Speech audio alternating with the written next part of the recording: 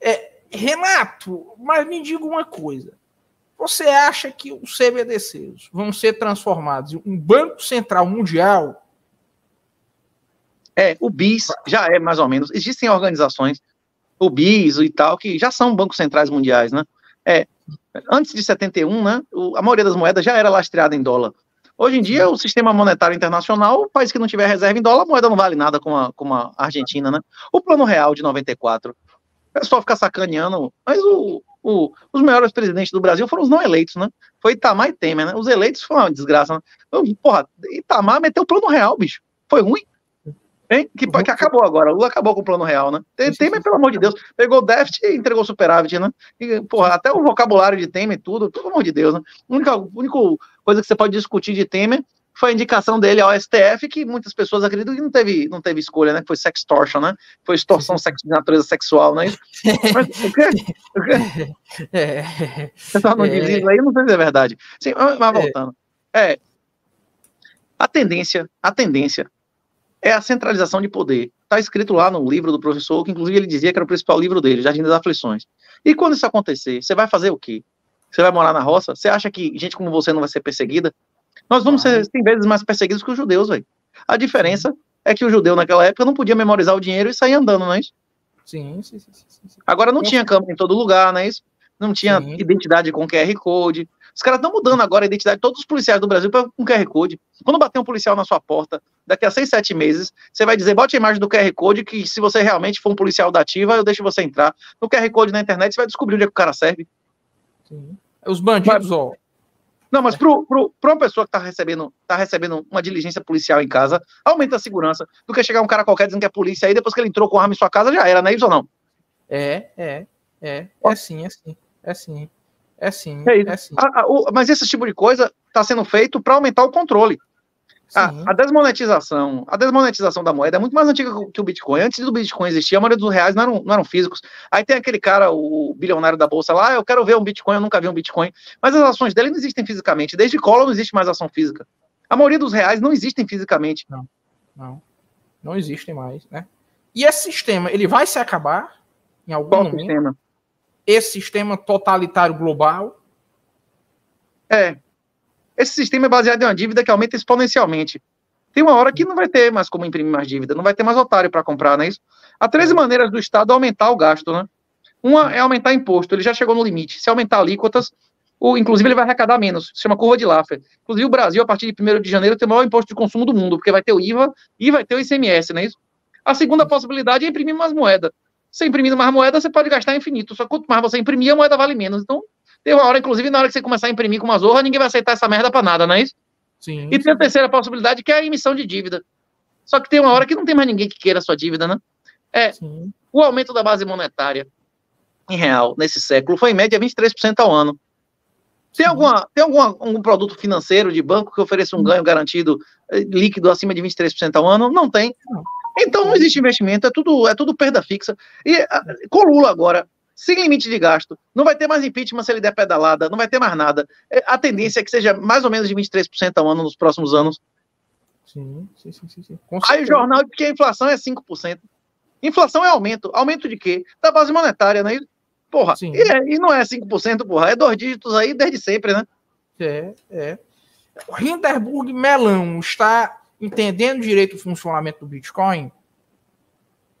Rapaz, eu acho que não. O Hindenburg Melão é o brasileiro mais inteligente que já foi identificado na história.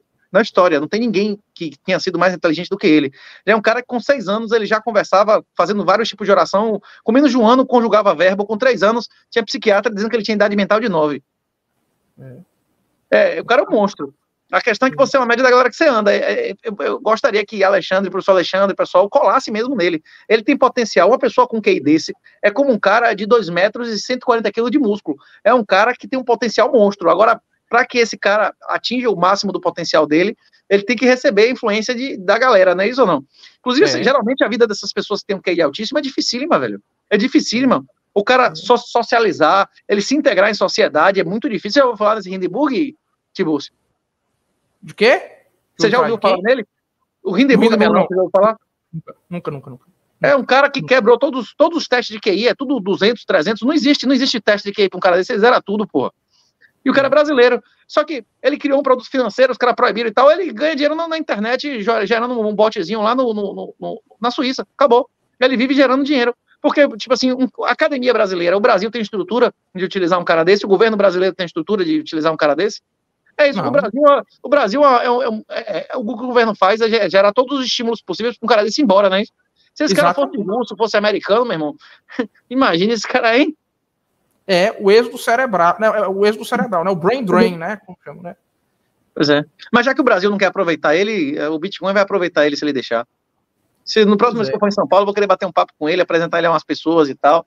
É, Rapaz, a conversa que ele teve com o professor Alexandre Costa, de três horas e meia, tem várias coisas que ele falou do caralho sobre filosofia da ciência e tal, várias sacadas assim que, porra, você demora muito tempo fazendo mestrado, doutorado para entender as coisas que ele falou. Mas, por outro lado, tem alguns conceitos que ele utiliza que o cara que lê as seis lições, ele entende que aquilo, tipo, é uma falha, né? Que, que aquele, aqueles conceitos são realmente falsos, como o negócio de, de valor intrínseco das coisas, né? Isso não tem valor intrínseco, todos os valores são subjetivos, né? Tipo assim, tem, é. tem cinco ou seis conceitozinhos assim, que, tipo assim, é porque o cara, mesmo ele tendo um QI monstro, ele não tem como estudar a fundo todos os conceitos do mundo, né? Ele vai conhecer profundamente as coisas que ele se dedica, não é isso ou não? Sim, com certeza, com certeza. Com certeza. É, é na psicologia, eles chamam de efeito Gelman, não é isso? Inclusive, quanto Sim. mais você entende de uma área e você sabe que a porra convencional é tudo mentira, você passa a achar que as outras coisas, a, a, o discurso oficial é verdadeiro, né? É um dos, Sim. é um dos, é behavioral economics, né? É um dos erros sistemáticos da humanidade, né? É, é, com, com certeza, com certeza. É, é, um erro central. Mas, Renato, diga-me uma coisa, certo?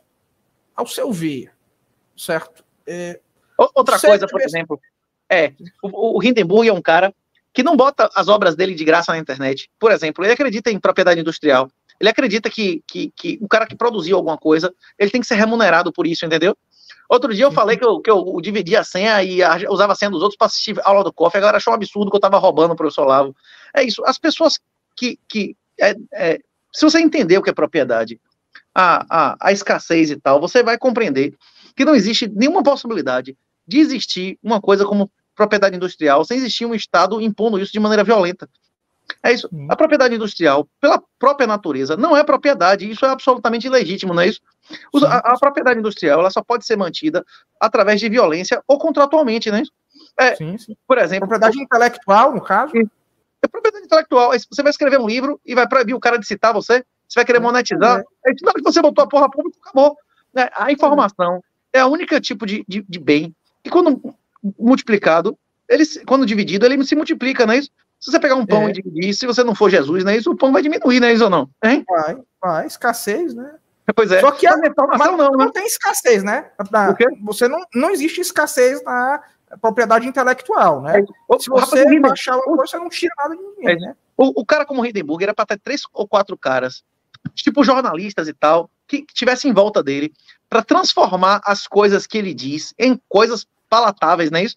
Tipo assim, é, é, um cara como você, que grava um negócio dentro de casa, que não tá nem aí pra cenário, pra porra nenhuma, com a camiseta de, de, de poliéster, pior, pior que você em relação a isso. Tipo assim, é isso, porra. Era um cara que tinha uma, uma equipe de pessoas em volta, não é isso? Pra escrever livros. Rapaz, as contribuições dele nas finanças, coisa pra caralho, é do caralho, o cara é foda, mas, tipo assim, é isso. É, o, o que é lógico para ele pode não ser compreensível pra maioria das pessoas, não é isso ou não? Sim, sim, sim, sim, claro, claro. E, e, não é porque, mas claro que não é porque ele é inteligente e defende algo que esse algo é certo também, né? É, então, isso. Tem que ver se ele estudou aquilo, não é isso? Geralmente um cara desse vai ser consistente, ele vai ter bons argumentos, não é isso ou não? Mas sobre o que ele é. se dedicar, não é isso ou não? Hein? É, é, mas às vezes não, né? Às vezes ele pode. Não, é da inteligência de alguém não se segue. No mundo, é isso, é no, certo, né? no mundo mental, o cara ter um alto QI é como um cara ter muito músculo e, e muita altura. Mas Hélio Grace, porra, tinha um metro e meio, era menor que Cogos e tinha 60 quilos e derrotou vários caras com 100 quilos, 110. Ele ficou famoso, inclusive, com a, com a luta no Kimura, que o, o, cara não conseguiu definir ele duas horas com 110 quilos, não é isso? É isso. É, é você ter músculo. Né? É, o quê? Não, não, é Como? É, tinha um Sakuraba também, né? Kazuchi Sakuraba, né? E teve várias lutas desses tradicionais, né? Então, é isso que eu tô dizendo. É, você ter um monte de músculo, você ter um monte de potencial, não significa que você atingiu o potencial, não é isso? É, é, com certeza, com certeza. Dá para fazer uma analogia, né? Mas no caso, é, o Richard Werner disse que o Bitcoin é criação do Deep State. Tem algum fundamento nisso aí, Renan? É, pode até ser. Eu não sei. Mas quem criou o Bitcoin é uma coisa totalmente irrelevante, porque ninguém controla. Ele é um código aberto. Se alguém quiser mudar, eu posso não mudar o meu nó. Todo mundo que roda seu próprio nó em casa é um dos donos do Bitcoin. Ele é um software aberto, qualquer um pode modificar. E se você não concordar com a mudança, você não muda. Então, tipo assim, não tem dono e ninguém controla, não faz diferença nenhuma quem criou. É. Ganhei mais mil satoshi. É mil satoshi ou é 4,195? Se eu chegasse para você e dissesse quem inventou a roda, foi um, foi um cara satânico, um cara miserável, estuprador, é. ladrão, assassino, malfeitor, malfeitor. Você ia deixar de usar a roda? Não, não, não. Se eu dissesse não, quem, é. quem criou a geometria, foi o pior cara que já pisou sobre a Terra, um vagabundo, rapaz. Um cara miserável. Você vai deixar de usar geometria? Não, não, não, não. Não, é. não importa quem criou as coisas, contanto que elas sejam úteis, não é isso? As é. grandes verdades, inclusive, elas são apenas compreensão, modelos, heurísticas, não é isso? Da, das coisas que já existem, que é a obra de Deus, né? algumas. né? É, algumas. Muitas delas, né? Inclusive, mas. Então, essa história aí. Mas isso aí você nunca ouviu referência a isso, né? Que, que é a criação do Deep State, né? Já, mas isso é irrelevante. Vários elementos do Bitcoin eles foram criados de fato por governos. O SHA-256, por exemplo, uma das, das, formas de criptografia de se criar os endereços foi criada pelo governo americano. É, é. É, com